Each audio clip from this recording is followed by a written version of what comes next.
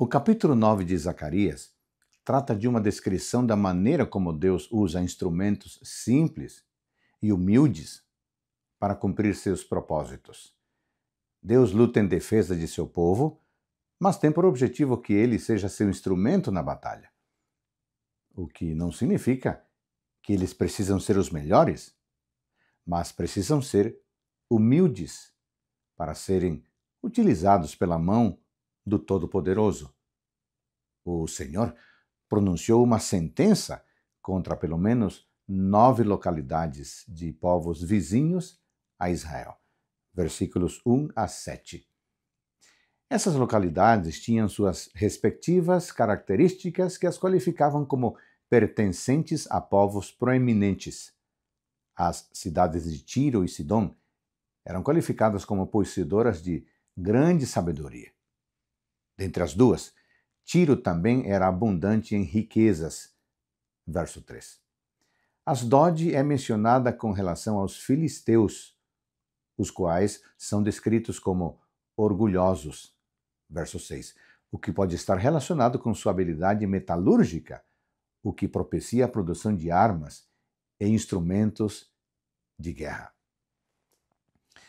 As localidades descritas possuíam pontos fortes que lhes favoreciam em contexto filosófico, financeiro e, claro, bélico. Mas Deus promete defender seu povo das invasões desses povos. Nesse cenário, ele defende seu povo com algo simples e humilde, quem sabe improvável. Deus não envia um rei revestido de riquezas, acompanhado de magistrados com suas forças armadas, mas um rei justo e salvador, montado em um jumentinho, diz o versículo 9.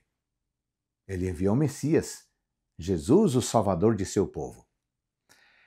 A vinda de um homem humilde é o suficiente para despedaçar os poderes humanos e as potestades espirituais que atuam através deles. O Messias é o exemplo primário da maneira como Deus se utiliza de alguém simples para levar a cabo seus propósitos. Ele também deseja usar seu povo, por mais que eles sejam simples e improváveis. Deus deseja fazer de seu povo, salvo por Jesus, um instrumento dele, assim como Judá e Efraim como arco e flecha de guerra e Sião como sua espada.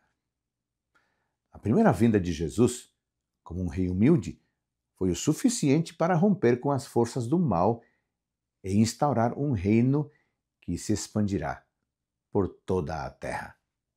Mas, da mesma maneira como ele veio com, como humilde rei, virá sempre em humildade, mas agora com poder e grande glória nas nuvens do céu. Conforme o capítulo estudado, Deus não precisa de melhores pessoas, as mais preparadas, as mais poderosas. Ele precisa daquelas que se dispõem a ser instrumentos em suas mãos. E aí? Você aceita ser instrumento de Deus hoje para anunciar a segunda vinda de Jesus Cristo? Que assim seja.